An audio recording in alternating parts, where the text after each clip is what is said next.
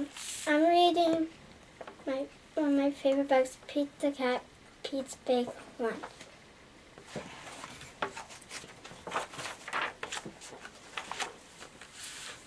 Lunch. Here comes Pete. It is lunchtime. Pete is ready to eat. What should Pete eat? A sandwich would be nice. Yes, Pete wants a sandwich. Pete opens the fridge.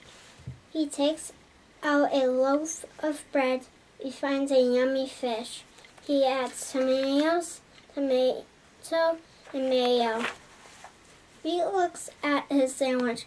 It is too small. Something is missing. Pete knows what he needs. His sandwich needs an apple. Pete loves apples.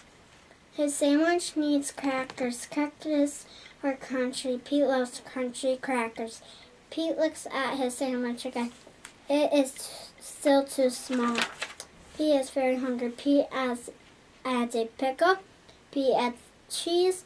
Pete adds an egg, two hot dogs, a banana, and a can of beans.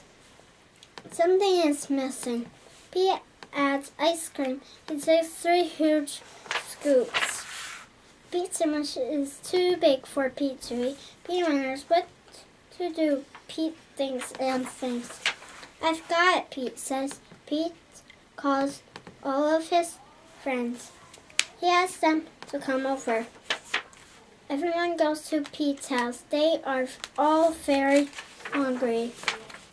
Pete shows them his big lunch. Are you hungry? asks Pete. Pete's sandwich is big enough for everyone. Dig in, says Pete. Pete's sandwich is good. Pete's sandwich is very good. Pete's sandwich is all gone. Pete's friends are full. They like Pete's big lunch. Thank you. Thanks for the lunch, Pete's friends say. Thanks for sharing. You're welcome, Pete says. Sherry is cool.